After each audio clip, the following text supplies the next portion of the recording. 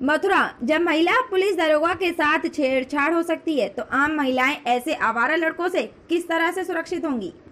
मथुरा महिला पुलिस दरोगा के साथ तीन बाइक सवार युवकों ने की छेड़छाड़। एक युवक गिरफ़्तार, दो युवक हुए फरार।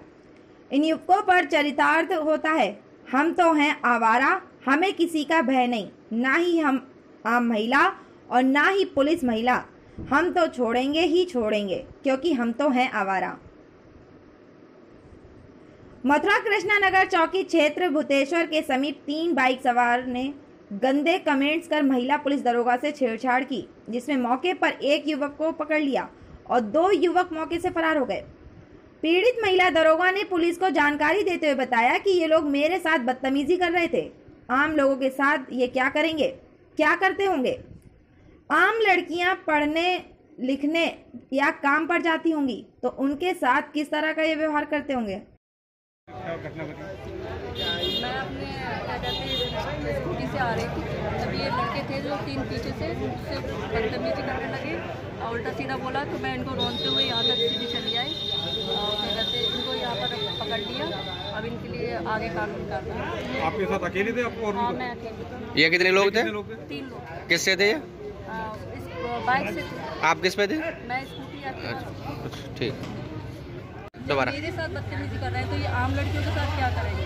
जो आम लड़कियाँ हैं जो मतलब अपने पढ़ रही हैं लिख रही हैं अपने काम से जा रही हैं कुछ भी जब इन्हें वर्दी का इतना वो नहीं है खौफ नहीं है किसी तरह का तो ये आम लड़कियों के साथ तो पता नहीं क्या करेंगे? तो- ऐसी तो क्रिमिनल होती है और क्या करेंगे? घटना की जानकारी देते हुए सीओ आलोक दुबे ने बताया कि महिला निरीक्षक गोविंद नगर में ड्यूटी करती है। अपने सरकारी कार्य से स्कूटी पर जा रही थी। तभी भूतेश्वर के पास बाइक सवार लोगों ने उनकी स्कूटी रोकने का प्रयास किया और गंदे कमेंट करने लगे। जैसे ही महिला पुलिस ने उनको पकड़ने के लिए आगे बढ़ी तो वे भागने लगे और अपने साहस का परिचय देते हुए छेड़छाड़ी कर रहे। एक युवक को पकड़ लिया। दो युवक भागने में सफल हुए। उक्त तीनों युवकों को विरुद्ध पुलिस मुकदमा दर्ज कर आवश्यक कार्रवाई कर रही है।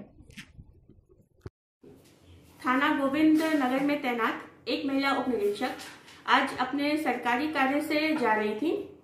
तभी भूतेश्वर के पास बाइक सवार तीन युवकों ने उनकी स्कूटी को रोकने का प्रयास किया और उन पर गंदे कमेंट किए।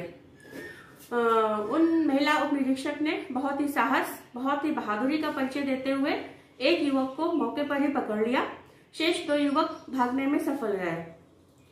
उक्त तीनों युवकों के विरुद्ध मुकदमा पंजीकृत करके आवश्यक वैधानिक कार्यवाही की जा रही है।